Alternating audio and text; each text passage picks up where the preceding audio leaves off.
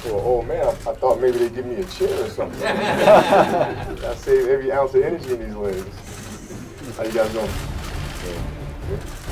Honestly, man, in high school, I always hoped to, to be a Sixer.